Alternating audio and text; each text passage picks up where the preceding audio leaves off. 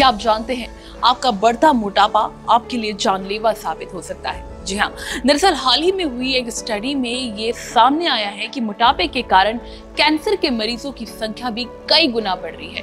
इस स्टडी के लगभग 4.1 मिलियन पार्टिसिपेंट्स को शामिल किया गया, जिसके बाद सामने आया कि मोटापे से जुड़े कैंसर 10 में से चार लोगों में पाया जा सकता है। इस रिसर्च में 30 तरह के कैंसर को मोटापे से भी जोड़कर देखा गया। पहले मोटापे से जुड़ी 13 तरह की खतरनाक बीमारियाँ हो सकती थी, हालाँकि अब ये संख्या बत्तीस हो गई है।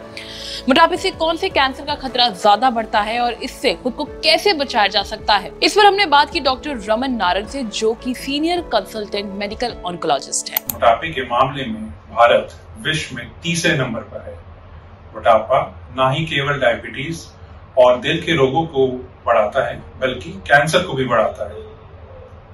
शोध में ऐसा पाया गया है कि मोटापे से बहुत सारे कैंसर होते हैं, जैसे कि स्तन का कैंसर पेट का कैंसर अंडाशय का कैंसर गर्भाशय का कैंसर हमें अपनी दिनचर्या में कुछ आसान तरीके अपनाने चाहिए, ताकि हमारा मोटापा कम हो और साथ साथ कैंसर का रिस्क भी कम हो।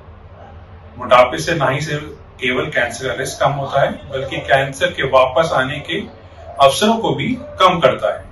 सो, कुछ आसान तरीके क्या हैं? जैसे कि बैलेंस डाइट अपनाना, जिसमें फल, आहार, सब्ज़ियाँ, ये सब की मात्रा ज़्यादा हो।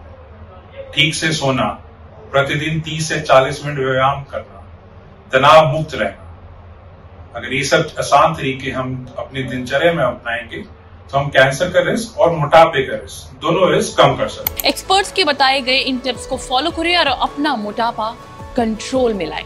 उम्मीद करते हैं आपको वीडियो पसंद आई होगी। कमेंट करके ज़रूर बताएँ और हेल्थ से जुड़ी इस तरह की और भी वीडियोस के लिए लाइक एंड सब्सक्राइब करें द हेल्थ